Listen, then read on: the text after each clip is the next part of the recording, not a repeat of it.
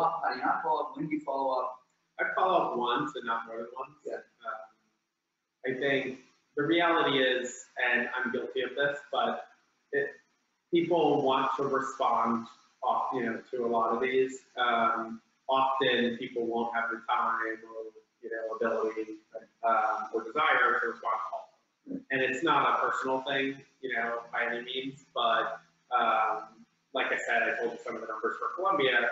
If you go to one of these info sessions, even if you have every intention of talking to every single person who wants to talk to you after, you may have fifty requests for coffees or calls or whatever, and you have a day job, doing fifty of these is hard. And Kaushik used to make fun of me because I would do a lot of these, do two, three a week.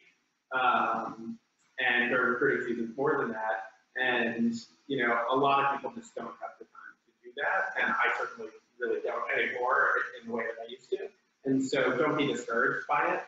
You don't want to annoy people or come across in the wrong way. If someone doesn't respond once, there's a chance it just slipped and they meant to respond and they forgot about it or whatever. Or you sent it, they were so busy, and then by the time they saw it again, it was two weeks later and it was at that point like kind of awkward to respond or old news or whatever so far later. So it doesn't hurt. I would say wait a week or two weeks, send another email, you know, just following up, um, kind of as a reply also to your original email. If they don't respond to that, chances are it's for a reason and move on. Totally agree.